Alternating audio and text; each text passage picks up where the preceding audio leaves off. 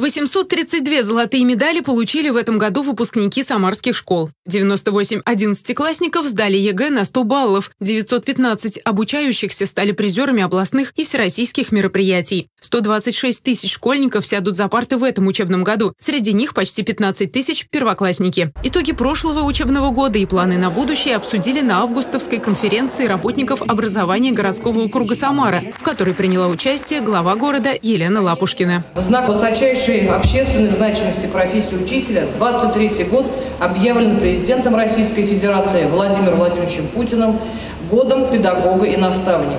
Абсолютно справедливо. Именно вы и ваши коллективы находитесь рядом с детьми, вносите вклад в формирование личности каждого ребенка и его отношение к окружающему миру и происходящим событиям. Во многом и от вас, а не только от семьи, зависит, как пройдет их детство как они пройдут свои первые ступени образования. На конференции отметили, что чаще всего высокие баллы по ЕГЭ школьники получают по русскому языку. В этом году тенденция сохранилась. По математике цифры ниже, и их нужно наращивать. Отдельно остановились на таком предмете, как информатика или ИКТ. Интерес к IT-профессиям неуклонно растет, и все больше выпускников решают сдавать этот предмет. А значит, ему нужно уделять повышенное внимание. Во-первых, показатели выше российских, это по результатам, это однозначно, да, так сказать. Ну и, собственно, в области Самара образовательные учреждения, как сказать, планку свою, так сказать, держат высокую.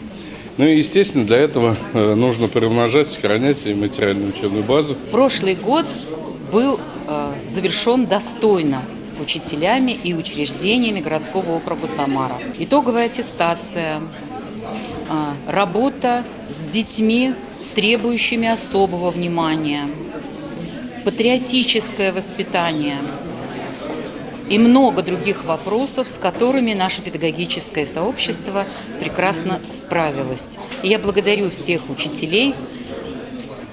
Это наша совместная победа.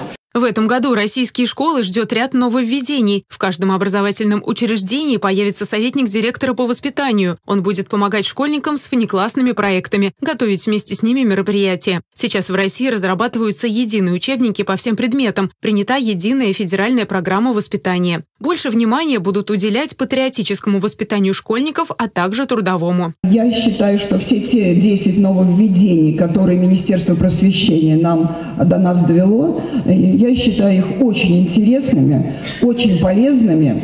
И не то, что надеюсь, а уверена на сто процентов в том, что все эти нововведения мы с вами реализуем в обязательном порядке. Отнесемся к этому неформально, потому что все эти нововведения э, своевременны, очень важны.